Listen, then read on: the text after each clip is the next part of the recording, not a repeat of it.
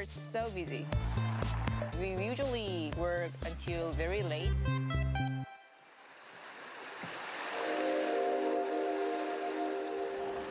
The journey takes them little more than two hours from Seoul. This is a kind of getaway from the usual life. So when I get here, I just relax for a whole day. But really, they're a million miles away.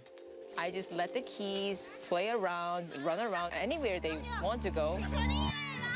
For the Chair family, this is a coveted refuge.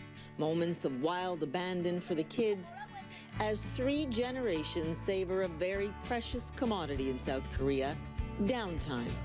It's amazing. And with this fresh air, and with this natural environment, that's really great. Compared to life in Seoul, it's like a whole time relaxing. So I just get here and try to do nothing.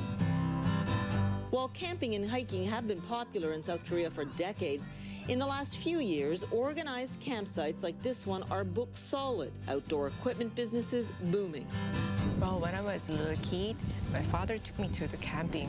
At that time, there was, the tent was not like this. It was really hard to set up. Yeah.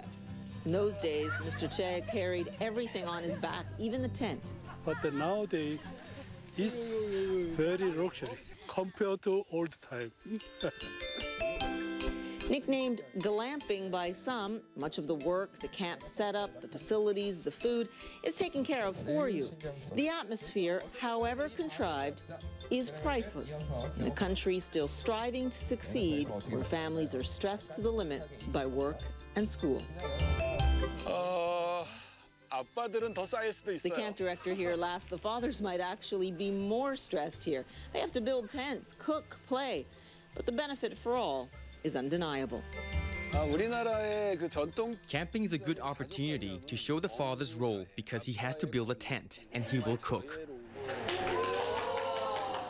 The children will get to see how amazing it is that fathers and mothers stop nagging them to study. this is the best part of camping. There's no TV. That's the point.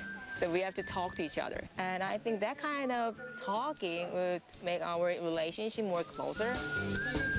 South Koreans say camping used to be all about the cookouts. But these days, the country is making time too to make memories. Paula Newton, CNN, Goron Camping Park in South Korea.